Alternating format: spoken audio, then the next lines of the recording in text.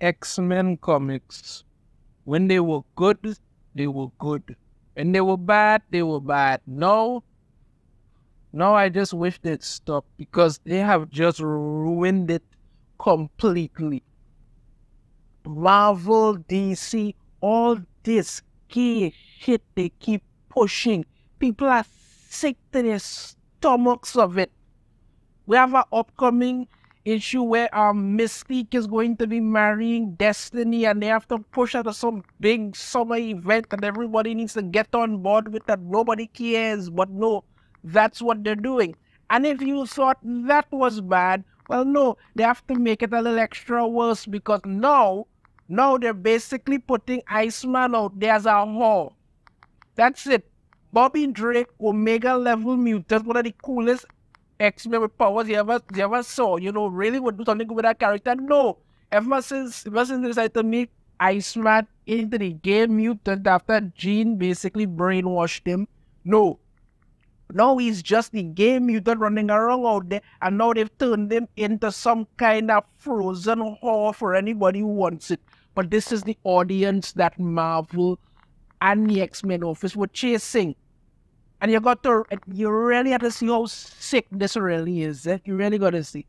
From this article in Out magazine, isn't it? Eh? Gay X-Men fans are freaking out over Hunky Hercules and Twinkie Iceman on a new comic cover. So this is apparently supposed to be some kind of variant cover for the um the wedding of Mystique and Destiny or than the other. So they have Iceman here and Hercules who apparently is now gay as hell for some reason. You understand that? He have his arm around him. They have Black Cat who, despite years of being with men and, and being and being a straight woman, now they decided to make her bisexual because everybody needs to. Loki is now queer or some of that nonsense, and you know it's it's just wrong. They go on. It's the gay X Men coupling of the year. They talk about the, the wedding. It should have come up in Marvel Voices Pride with Mystique and Destiny and how that's going to be happening and all of this. And, and you know, it's written by Kieron Gillen. Oh, this is the cover here. You understand me? And as they say, um, the full cover here Hercules, Iceman, Black Cat, Loki. You have Gwenpool and this Liberace looking Spider-Man so and so that they decided to put in there because that's that's especially important. You understand me? But no, you would think that with all of this they will leave it, but no, in the comments, you're getting to see exactly the kind of people that Marvel and the X-Men office are doing this shit One listen to the kind of the kind of stuff that they're putting out and it tells you what these people are interested in. Here's the first one her casually recruiting Bobby for either a one night threesome or a full poly relationship with Noh-Varr. Just love the idea of Hook and his twinks. These are the people that they put out there for Hook. I love the idea of Hook and his twinks. Let's go on. Next one. Bobby being the pass around party bottom of Marvel right now. Like, no wonder him and Romeo never made it official. Yeah, so basically it's saying that Iceman is now some some frozen or whore who just goes with any man that, that, that even looks at him. This this is this is what you have reduced the character to. This is it. What you have reduced the character to. It goes on. It goes on. The next one here says, look at this whore every month sitting on a different, well, you know what's coming next. That's it. That's how you're referring to Iceman. Look at this whore every month sitting on a different. You've turned Iceman into a whore. That's what you. This these are the audience that that, that, that, Marvel was after. These, this is them here saying. This is what they say. Next one. You're assuming Hulk is a top, and that's how I know I'm built different. X1 here. I feel like Hook is true verse, but someone used the term pass around party bottom to describe Bobby, and I don't know, it just fits, you know. have people talking about whether Herc should be on top or the bottom or whether Bobby is going to be bottom. This is the kind of shit that, that, that, that you got to stop when these people, this, this, this is the, this is what I'm talking about. Not the character of Bobby Drago. No, no, no. Whether he's going to be the giver or the taker, that's it. This is, this is what, this is what they're doing. This is the audience Marvel is desperate to get. Go on. Next one. First of all, Herc is obviously a locked bottom, and Bobby isn't interesting enough to be a pass around bottom. He gives me service stop. Oh, God, boy, it's just. And, and, and next one, People Hercules is the what is the power bottom for sure. Herc is just using Iceman for ice cock. Guess what I was saying as a new king challenge to try. This is their discussion, you know. This is it. Yeah. Yeah, this, this is this is it. This is it. You see, this is what I'm saying. This, this is what I'm saying. These are the people who Marvel and Marvel, DC, and the rest of them are so interested in, in going after. This is the audience that they want. The problem is, you have to wonder when these people became anybody's interest at all. The majority of them probably sit around on a daily basis jacking off to God alone knows anything and not doing anything practical at all. Their entire lives revolve around who they want to ship. That's what that's what it become about, you know, who they want to ship, who they want to get together with and bang it so that they could talk about that online constantly. But there's no actual anything to these characters. People acting like, you know, oh, if you don't do this somehow, not representation, all kind of nonsense. No. It's the same thing like Poison Ivy and Harley Quinn's so-called relationship.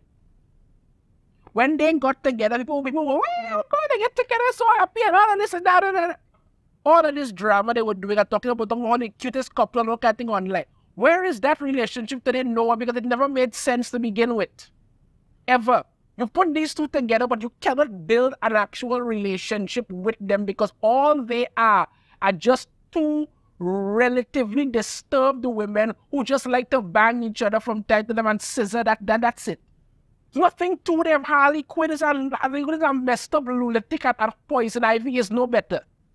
They try to make Harley Quinn into some kind of hero. It doesn't work. She's murdered children. A lot of them. There is no fixing that. Poison Ivy wants to kill people because she loves plants. That's about it. Even when they did the, the, the, the, the um, Harley Quinn TV series that they did the first season where Harley was focusing on trying to be a villain all her own, that was actually funny. I, I wanted to like that. The minute she and she and Poison Ivy hooked up, the show just became dram garbage.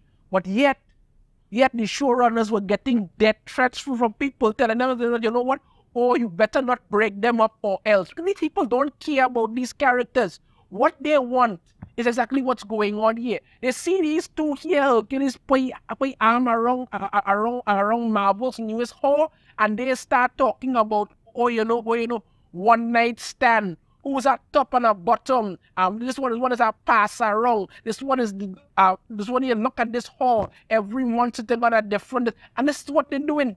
This is the audience that Marvel wanted. The problem is these people are sick in the hand. All they talk about day in, day out is just jacking off. That's it. That's all they talk about. So what does Marvel do? Reduce Bobby Drake, one of the coolest X-Men, one of the coolest powers, because most, most people don't even really to realize how much of a cooler power Iceman actually has it. I mean, really versatile because there's water in the atmosphere everywhere. The things he could do, really amazing. Really, really freaking amazing. The things that Iceman could do. And what have you done? Reduced an Omega level mutant to a freaking gay whore. That's what you've done.